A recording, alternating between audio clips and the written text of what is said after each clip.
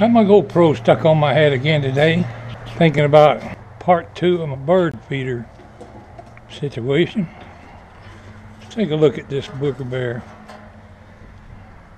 I can take this to the basement. Like, oh, we got some ants on there. We don't want them. What the heck would they want to be on a satellite dish for?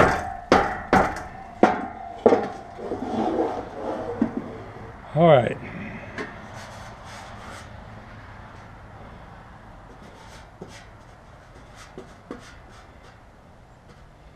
Don't make a lot of sense.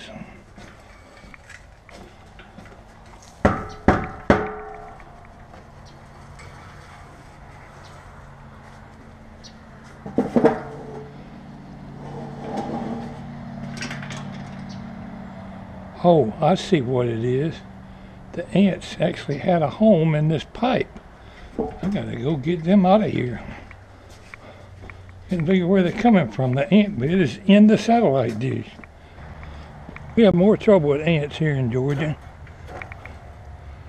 The only way to get them out of there is a garden hose. Good thing I didn't carry that in the house. I'd never hear the end of it.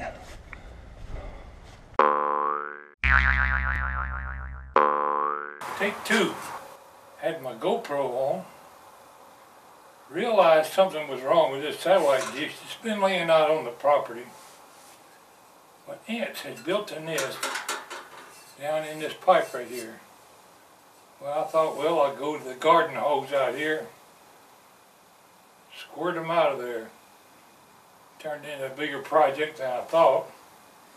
Had to take this bracket off the bottom, remove the bolts because the ants had built cones and parts of their nest up in there that wouldn't wash out. So I'm gonna finish this clip here with my Sony cam, handy cam.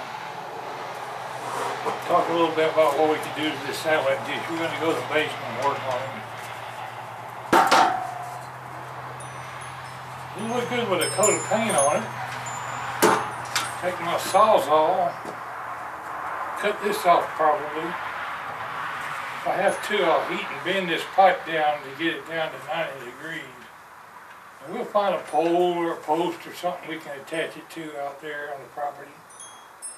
Something in this fashion right here.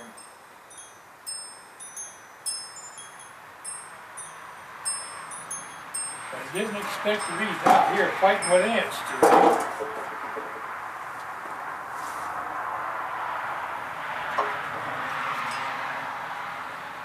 Jim Dandy little bracket. Went to the doctor today and got my eyeglasses after having my cataract surgery. And I have an appointment January twentieth to do the radioactive iodide test on my thyroid. I'll keep you updated on that. I'm slowly accumulating enough clips on my different clips on my walking stick production. I've made two different cuts on it. There's how much I cut off my walking stick. Oh, a good foot and a half so far.